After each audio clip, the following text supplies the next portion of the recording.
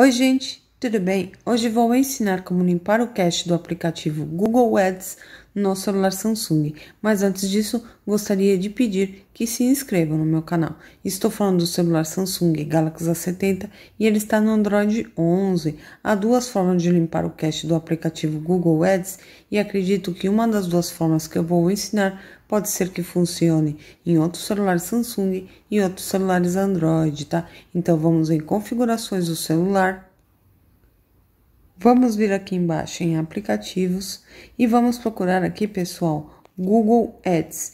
Está na letra G, está em ordem, está logo aqui, eu clico.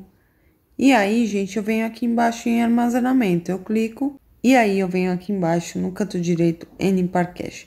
Vou para a tela inicial do meu celular somente para ensinar a segunda forma de limpar o cache do aplicativo Google Ads.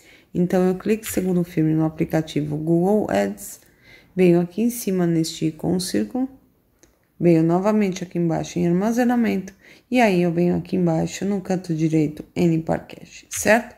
Bom, gente, espero que vocês tenham gostado da dica. Até a próxima. Tchau, tchau!